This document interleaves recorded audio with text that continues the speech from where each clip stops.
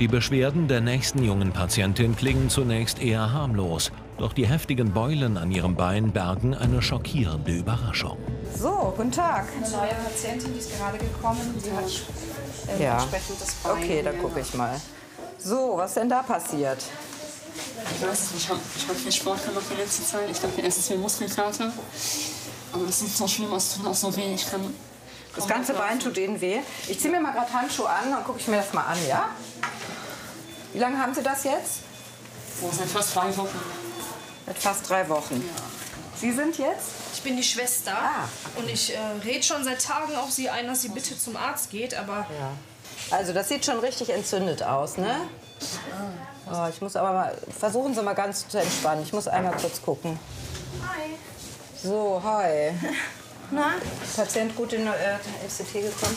Ja, die Kollegen, die bringen ihn gerade. Also, man konnte schon deutlich sehen, dass sich ein roter Hof drum gebildet hat. Es war entzündet. Ähm, da denkt man natürlich immer daran, ähm, dass möglicherweise Fremdkörper äh, unter der Haut stecken, wo das Immunsystem einfach drauf reagiert, natürlich mit Entzündungs- und Alterungsprozessen. Können Sie sich da an irgendwas erinnern? Ja, ich war vor vier Wochen in Mexiko im Urlaub und war da viel unterwegs. Da ist ja viel, ähm, was rumfliegt. sie Ja. hat sich in Mexiko, wenn ich mal unterbrechen darf, diese Hose gekauft. Ja, sagen wir mal. Ich liegt das auch an der Farbe von dem Material hier. Haben Sie denn da schon mal Probleme mit? Haben, ziehen Sie die Sachen schon mal ungewaschen an? Ja. Da stand natürlich eine Kontaktallergie im Raum. Äh, Das habe ich für mich aber jetzt ausgeschlossen, ähm, weil es sich doch auf einzelne Pusteln beschränkt hat. Ähm, Eine Kontaktallergie merkt man dann meistens am ganzen Bein und die juckt auch gehörig. Ich würde mal gerade ganz gern nachgucken. Wo waren Sie in Mexiko, sagten Sie, ne? Ich gucke mal gerade nach. Also das, möglicherweise sind Sie da von irgendwas örtlichem gestochen worden. Moment. Guck mal gerade.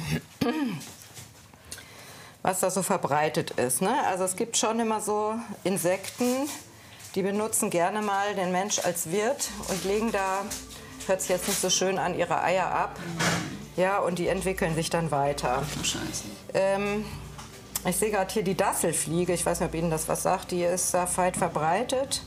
Ich weiß nicht, ob Sie reiten. Viele kennen das von den Pferden auch. Das ist hierzulande sind, ähm, sind, ist das auch im Befall. Aber es gibt eben, das wollte ich hier nachgucken, auch die Dasselfliege in Bezug auf Menschen. Schauen Sie mal. Das ist diese Dasselfliege. Die ist ja relativ klein. Ne? Ähm, das Problem ist, dass die ihre Eier ablegen. Ne? Manchmal in kleine Wunden, manchmal auch sogar in die Kleidung. Ähm, und dann schlüpfen die Larven und bohren sich im Prinzip in die Haut. Ja? So, die leben da jetzt drunter und es gibt ähm, ein, äh, ein Merkmal, woran man das schön erkennen kann. Wenn Sie das Bein noch mal so zur Seite drehen, dann gucken wir noch mal gerade. Es ist so, dass die sich da eingraben.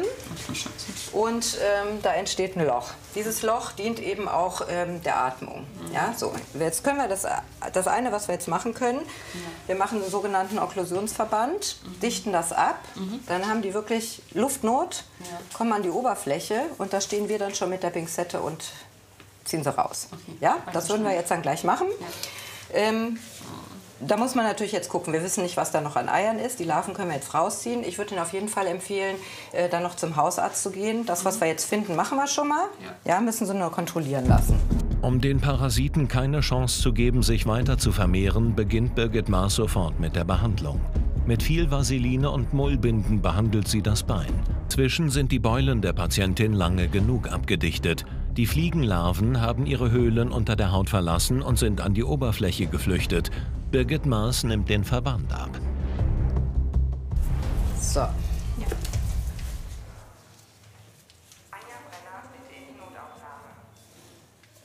So, ich wische das mal ein bisschen ab. Die lassen wir mal noch drauf. Dann gucken wir, ach, nehmen wir die Lampe, da kann man doch besser gucken. Na? Kannst du nicht hinkriegen? Nein. Kann ich da was helfen soll, sagst du Bescheid, ja? Vielleicht kannst du die Lampe ganz kurz unter. Oder okay, hast du einen Kompressor, dann kann ich da schon mal gucken, was drauf ist. Vielen Dank. So. Gott. Geht's? Tut das immer noch so weh? Das haben wir eigentlich betäubt. Da guckt schon was. Oh nein, oh nein. Am besten weggucken. Wenn sie es nicht sehen können, dann am besten mal irgendwo anders hingucken und dann an was Schönes denken und dann ist die Doktor auch schon fertig. Ja? Oh, ist das eklig? Auch nicht hingucken. So. Oh ja. Ah. Oh nee. Bewegt sich noch richtig. Bewegt sich noch. Okay. Eklig kann ich mir vorstellen, aber es ist draußen und so schlimm sieht die gar nicht aus. Wenn wir ihren Namen geben, dann ist sie gleich wieder ganz süß. Nennen wir sie Frieda und dann ist Okay, dann äh, kannst du Frieda schon mal zur Seite tun, bitte. Ja, mach ich. Einige Larven konnten wir jetzt hier ähm, entfernen.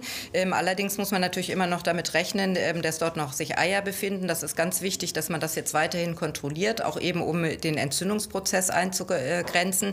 Äh, deswegen habe ich der Patientin jetzt dringend empfohlen, zum Hausarzt zu gehen und sich dort weiter behandeln zu lassen. Durch die Folgebehandlung ist die Patientin alle unerwünschten Eindringlinge ohne Folgeschäden wieder losgeworden.